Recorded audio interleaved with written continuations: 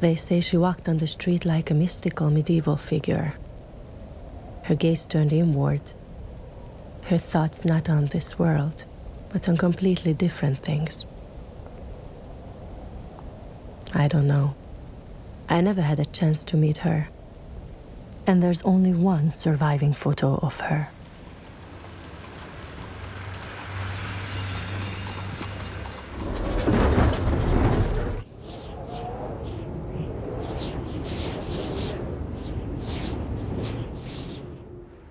Only a man may be a rabbi, a woman may not.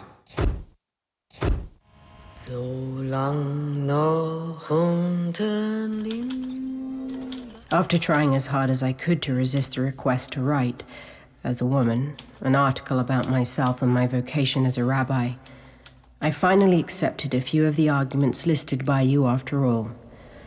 But which ones they were, let that remain a professional secret.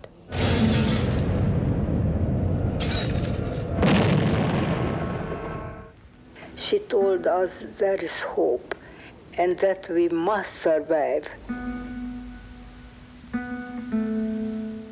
And when we pass from our life on earth into eternity, may our work bring blessings upon Israel and all of humanity.